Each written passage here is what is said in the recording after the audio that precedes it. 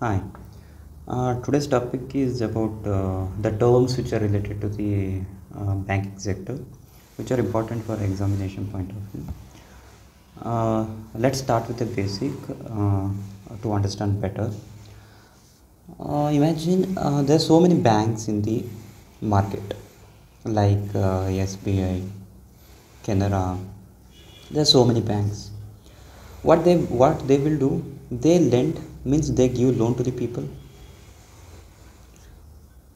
While giving the loan they pay, they charge interest and get benefit out of benefit from lending the loans. Okay, they pay they they charge interest from the people and get a profit out of it. So to give loan where the banks get money to give loans where the where the banks get uh, money to lend the loan one is to deposit. Who deposit? Again the people deposit. People deposit money with the bank.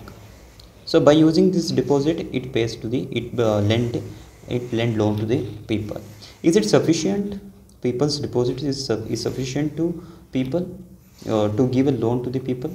No it is not sufficient because the people's at any point of time they uh, draw the money from the bank the situation uh, going to be a worse okay if the bank has shortage of fund. So banks are in need of money means extra are in need of extra money. So banks are going to banks are going to rbi reserve bank of india to get a loan from it to get a loan from it. So rbi also charges interest rate interest rate on the loan because it giving loan to the bank. So it charges interest rate. What are those interest rate are? These. Bank rate repo rate marginal standing facility. They are different uh, time period. With respect to the time they are different. Just they are different by with respect to the time. You will understand. Now what is bank rate then? If the bank here the bank go to the rbi if the bank this bank need of money need money for long term need of need money for long term for example one year two year three year 30 year like this. If need of money need of money for long term basis the rbi lends to this bank with a bank rate. With the bank. Term rbi provides the loan under bank rate okay.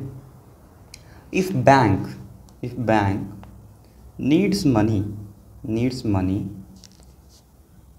for short term like for 7 days 14 days 30 days like this it needs money for uh, it needs money the rbi lends under repo rate.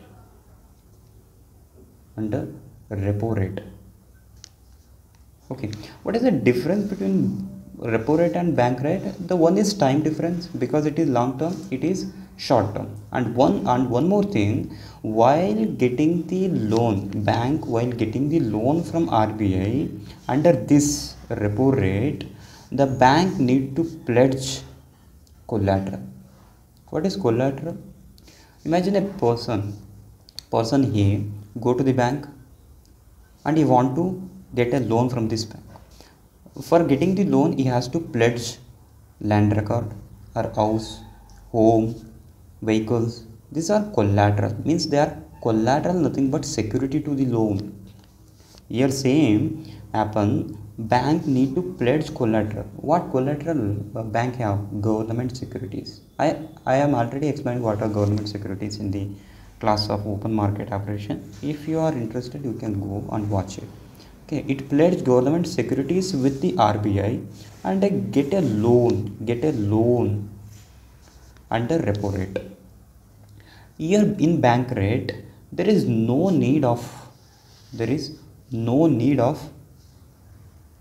collateral pledge. There is no need of collateral pledge. Okay the difference between repo and um, reverse repo it is long term it is short term it is no collateral is needed here collateral is needed. This is one main difference. Okay then another another one rate comes. One is another one is marginal standing facility. What is this? Same the bank need in money. For one day for one day bank needs money. Go to the rbi it goes to the rbi and i get a loan from it for one day. Here for in days uh, 7 days uh, 30 days like that. Here the in terms of years. Here also the bank need to pledge collateral. This is what happens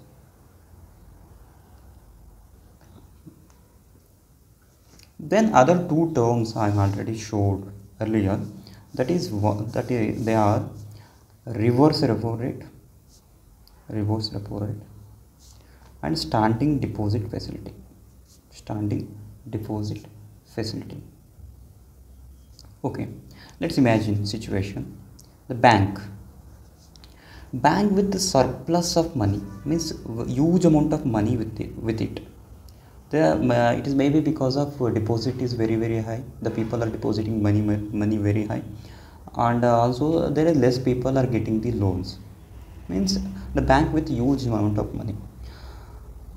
So the uh, so the bank are now deciding to uh, park this amount with RBI means deposit the banks are interested now to deposit to deposit money with RBI okay because the people are not getting the, not uh, getting the loan from this bank. So bank uh, bank need to earn something interest. So has to pay back also has to pay while during the um, while during the depositors claiming their deposit. Okay so uh, the our bank go to the RBI and um, park their uh, surplus bond, uh, surplus fund with the RBI here here reverse is happening. Their bank is getting loan. Bank is getting loan from the RBI but here bank giving loan to the RBI okay that is what so while while bank depositing depositing uh, its fund with the RBI it gets interest rate.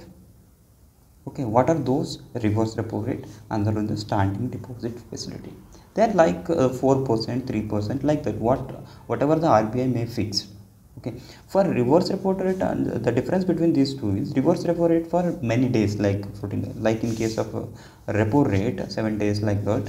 Here also if the bank deposit its funds for 7 days 30 days like that for in terms in in the number of days it get a interest in the rate of reverse repo rate.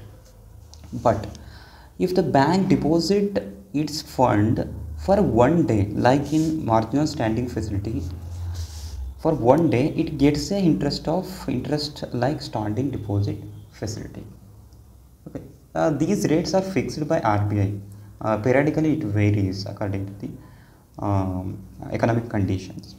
Okay now the last thing here I want to say is why this rate why this rate needed for banks okay rates why there is a need you uh, to know this you should understand what is money supply.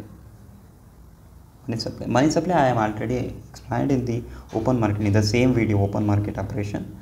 If you are interested you can go and watch it. Okay if the money supply in the economy is very high money supply economy is very high means in the market is very high rbi needs to absorb those money rbi needs to absorb those uh, that much amount of money from the economy.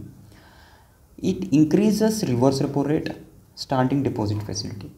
It increases like this. To absorb the liquidity to absorb the money from the market uh, market it increases these two. Why? Bec- why? Because the bank getting more interest here. Instead of giving loan to the people bank come and park their park their deposit with the RBI. So the people are not people are not getting the loan. The money supply is reduced in the economy. In the same way, if the money supply is more, it increases bank rate. marginal uh, standing facility and uh, what repo rate why the bank when the bank getting loan from the RBI bank getting loan from the RBI it if the RBI charges more interest then bank further charges more interest on people. If the RBI charges more interest then bank necessarily charges more interest on the people. So people are not going to get loan because interest is very very high that's the case. If it decreases rbi decreases these interest rate these interest rate then loan become cheaper in the market. People are going to get a loans at a cheaper level. So the money supply increases. Like this way uh, the rbi maintains the money supply in the market. Increases or decreases interest rate according to the situation of the market.